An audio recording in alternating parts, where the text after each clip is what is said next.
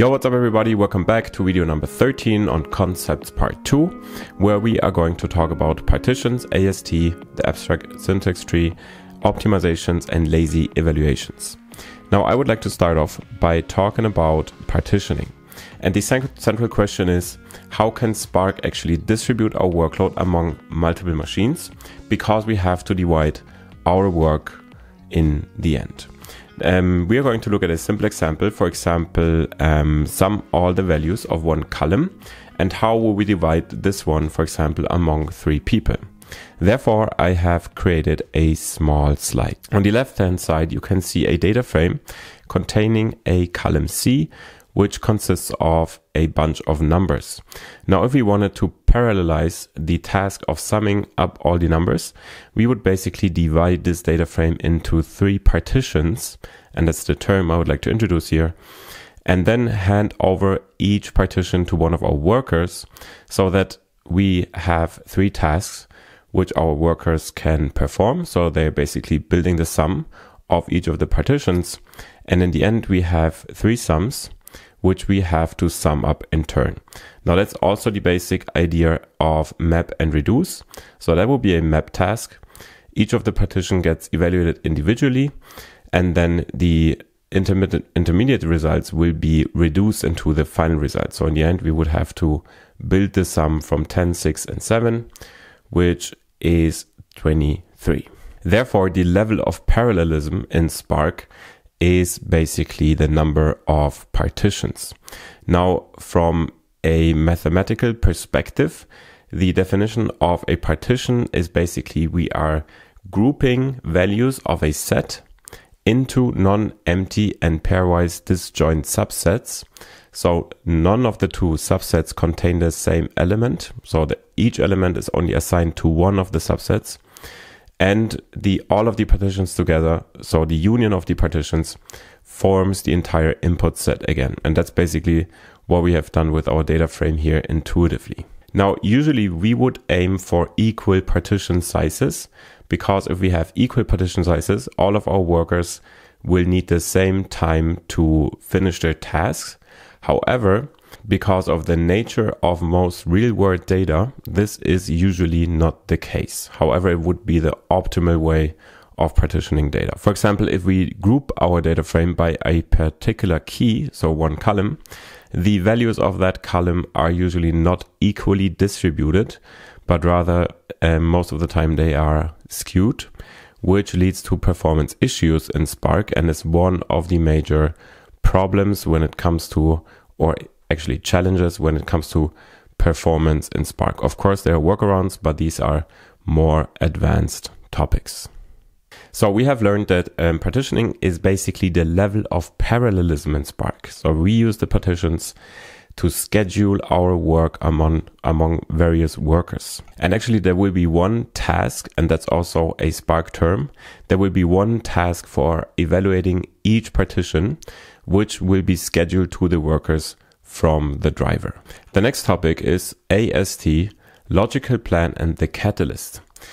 So as we've learned, Spark provides us with a fully declarative and structured API, meaning that it defines as operators, for example, like filter and plus and minus and add something and then also select and so on. So we have a lot of functionality which we can use from the API and we are dealing with structured data as our data frames actually have a schema. So Spark SQL actually knows what data to expect in each of the columns. We use this API in turn to tell Spark what we would like to do with our data frame and how we would like to transform the data in the data frame. And therefore we use these functions, for example, with column, group by, and count, and so on. So what happens is when we use the API to transform our data, Spark actually assembles an internal representation of the transformations we are using on the data, which is called the AST, so the abstract syntax tree, which basically is a tree. So we, we start from potentially multiple input nodes and then we transform um, columns or join data frames and so on. And Spark assembles our, our journey through the transformations in a tree. And having that internal representation, Spark can actually look at the tree and see where we have provided transformations which are not actually so efficient. So we can even optimize this tree. So what we have is an internal representation, which is basically abstract. So it doesn't depend on our, on the input API we're using. So we could use R or Python or Spark or even SQL, which all build up the same internal tree re representation in Spark. And then Spark will use the catalyst, which is the optimizer, to look at the tree and actually to um, for example, switch orders of operators in our tree or basically put pushing down filters so that we filter earlier in our tree and so on. And that's how Spark actually optimizes the query for us. Therefore, the AST is actually a computational plan, an abstract computational plan, which uh, Spark builds up to understand what we are trying to do with our data. And actually, we can, from that AST, we can also tell how a data frame is derived from its parent data frame. And that's also what's called a lineage. So we can track how we can derive a result from the input data frames. And this AST I would like to show you in our project now. All right, once we head over to our IDE, I would like to show you a different action on a data frame. Um, previously, we've been using show to print the first 20 lines to the console.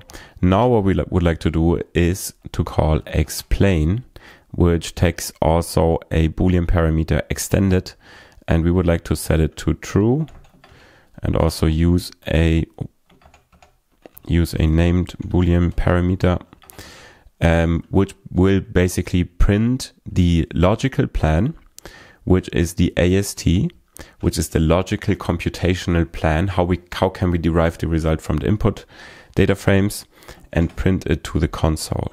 So once I run this, we can see what Spark has done to assemble our data frame transformation that we are using here in this project. Okay, so now it has completed.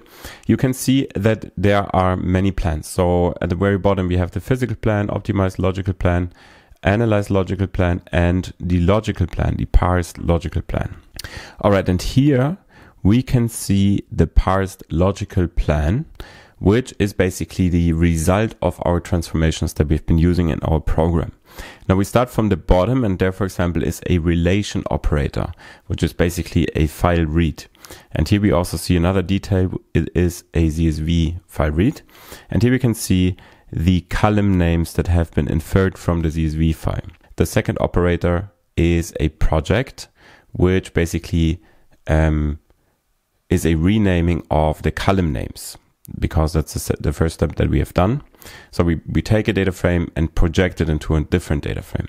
Then we have a second project step, uh, step which is basically the uh, selection of columns and then we apply our window function, which is basically the row number over a window definition over the extracted year from a date and sorted by uh, the closing price descending and so on.